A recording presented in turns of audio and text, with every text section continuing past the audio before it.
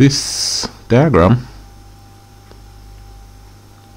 it it um applies to question 40 to 42 so that's 40 41 and 42 all right.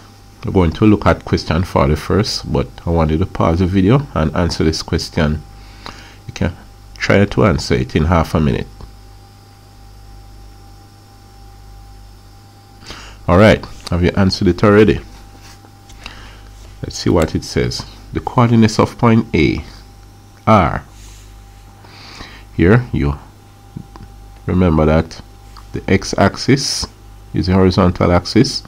So the value on x comma y would be x first. 1 it is above 1 so that's 1